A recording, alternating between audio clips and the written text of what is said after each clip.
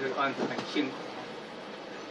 我刚刚几位委员的这个意见都有非常有创意性啊，但是我的浅见是这样的，就是说，你你如果要满足以我们现在这个检验相关的话，你要满足所有的条件跟个人需求，的确很难。不过我们民法上啊，本来就是有平衡的一个机制啊。这个平衡的机制就是权力，权益在分配的时候不均匀的时候，它就叫物上代位，啊，物上代位就是用金钱来弥补，金钱来弥补。那这有几种做法，不过以我们检验局它目前的所有的工具跟它的权责，的确是比较困难啊。你比如说你这个呃检验一来说啊，因为他现在为什么他们期待做长远来说，他们当然期待利用这个机会，地主能够全部配合，那么来参与联合开发等等。可是因为有的他就是等于说无权变成是无权占有，可是法院又判他胜诉。啊，你地主不能够赶他走，可是法院又没有进一步把它评定他的权益价值，就是持券啊，这个券。因为我们过去不是有一个法令，就是跟不动产证啊证券化嘛，你可以把他这个他们已经交了税，就把这个税啊折合他多少权益金，那将来就可以利用这个来。参与很多的这个分配，他才有一个权利上的一个凭证嘛。那你法院呢，只做一半啊，你胜诉，那胜诉问题没有解决，他才不能搬走。那你评估一下，你那一半的地价税，那折合成一个一个权利上的价值多少？那将来他就可以公平可以参加一些分配啊。这是我是想。应该法令上是可以找到依据，不过这个不是决印级可以做得到的，啊。那么至于底下这个，你比如说像七楼的，那么刚刚七层楼的啊，还有这个四层楼的这个这个解二，那么他们的要求是说，我要一天换一点三平啊。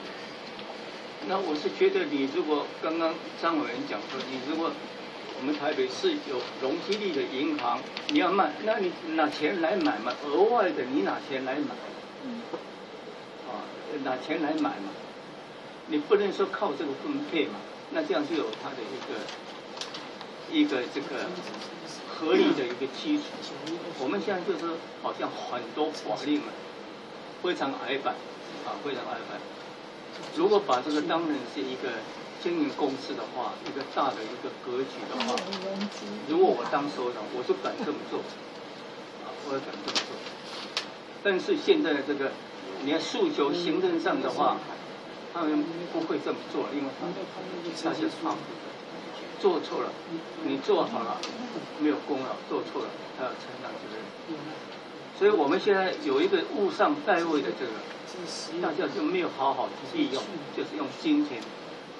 来买卖，就是权力分配，你不足的我就你这个要这么多，但我可以的话我卖，那么这个就可以把它换成一个一个市库的一个现金嘛，变成我们建设的基金，那么这样子的话，也也是一种选择。呃，这个是我我个人的一些一些浅见啊，也就是说，我们现在实际上潜在了。还有很多工具是可以应用，不过现在好像没有人敢去突破啊这样的一个做法。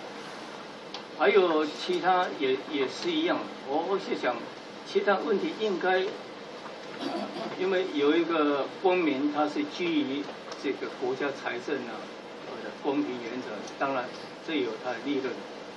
不过这个案子有很多是牵涉到很多不同的层面的。一个是政府的政策的层面，那么他已经说行政院有核定了，经建会有核定了，你现在再把它走回来，恐怕很难。他要告到监察院，那就让监察院去对监察院嘛。我想现在，即使总统也不敢，因为他没有这个魄力，他也不敢处理这个事情，他就让监察院。那监察院敢不敢推翻这个案子呢？因为过去我们委员也有很多提出这个这个质疑的，可是现在可能很难。当然，你国家有钱，或者能够平衡到做到利益均衡，我我个人的浅见是说，我们不怕都市建设产生的利益，但我比较更重视的就是这个利益的社会的公平分配，啊，这个才是这样子的。你这个增加增值了，那增值了，你政府得到些什么？有将来这个能够回馈到全市。甚至全国，那我想这个应该也是有它的一个呃非常好的一个做法。现在我发现啊，每一个县市啊都在拼命建设、花钱、举债，啊，高雄市也是一样，台北县也是一样，台北市一样。我们现在政府啊，这个负债几兆几兆，这个不得了啊，所以。这个都是未来的一些问题，但是大家每一个县市上都在表演，啊，因为他要抢这个政绩，啊，那我我心想这个就是一个台湾现在政治的一个文化，我们也没有办法，我们这个人为言轻呢，但是既然做了，就是从专业的立场，我们就看看能不能也会适当的平衡。希望你这个一次在。延迟这个案子的话，基本上也是一种损失，也是一种损失。但希望能够，呃，有没有什么方法能够来突破？